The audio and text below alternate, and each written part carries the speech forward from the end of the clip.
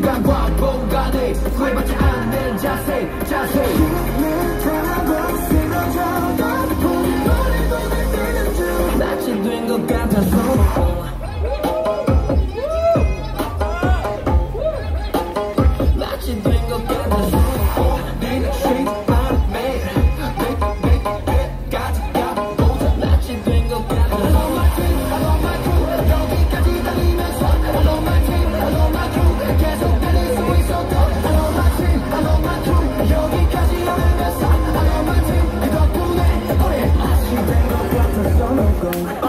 우리는 등장 톡톡